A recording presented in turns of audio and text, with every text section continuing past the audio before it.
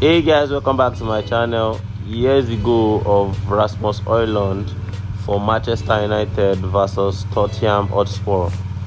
That's all for now guys. Don't forget to like subscribe and turn on your notification button for more manchester united updates.